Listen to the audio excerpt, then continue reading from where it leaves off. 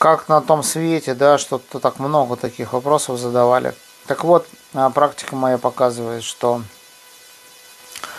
а, после уже а, клинической смерти, после выхода прохода по туннелю, как я рассказывал до этого,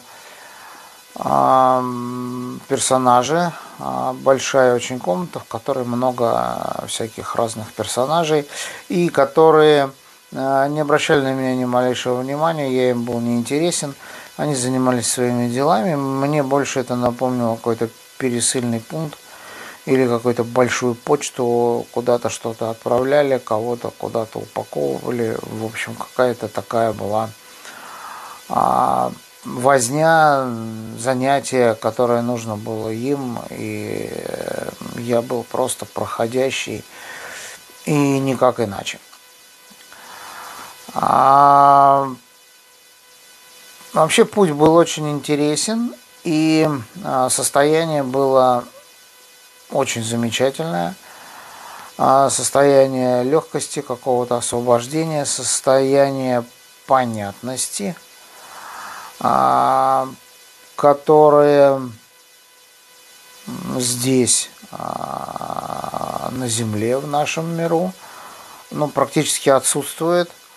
То есть мы не, не имеем состояния, стабильного состояния какой-то понятного восприятия мира, то у нас одни законы, то другие законы, то что-то еще, то, то засухи, то пожары, то наводнения.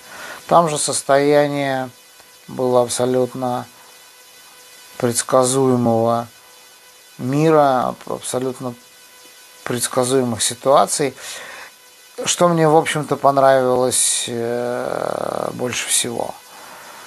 В принципе, а, тот мир, который, в который мы попадаем, наверное, многие из нас, а, кто пережил клиническую смерть, он очень дружелюбный, очень понятный и очень радостный, если, если не сказать долгожданный.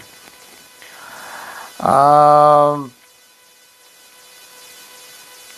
нет никаких грехов, нет никаких э, переживаний, э, никто ни о чем не парится. В общем, все понятно, э, предсказуемо и все замечательно.